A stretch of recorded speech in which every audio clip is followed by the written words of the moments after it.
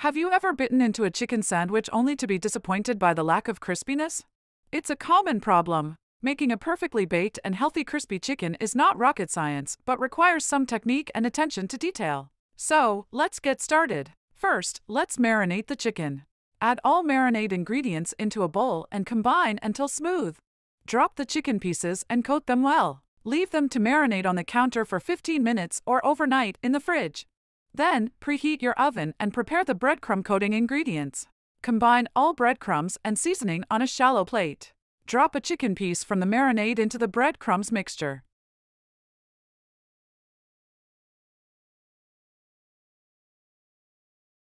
Coat it well and place it on a parchment lined baking tray while you do the rest. Spray the chicken pieces with cooking oil and bake them in the oven until golden and crisp. Let them rest briefly before stacking them into your toasted sandwich bun with your favorite sauce and desired topping. The full recipe, along with serving suggestions, is on my blog veenaazmanov.com. Please do like and subscribe for more amazing videos.